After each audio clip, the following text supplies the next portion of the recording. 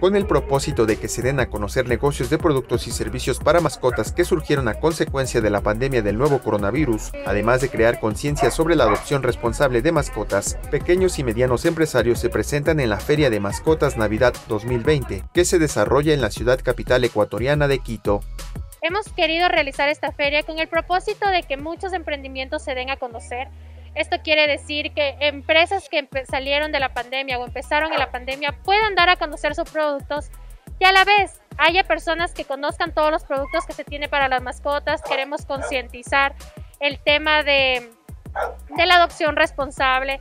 En la feria se establecieron estrictas medidas de bioseguridad para los visitantes, quienes pudieron adquirir productos alimenticios, de limpieza y vestimenta para toda raza de perros.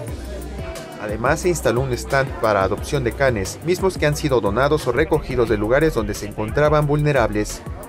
La ciudadanía ha podido disfrutar de un tiempo en familia en esta feria, en donde algunos de los perros se han presentado disfrazados con motivo de la temporada navideña.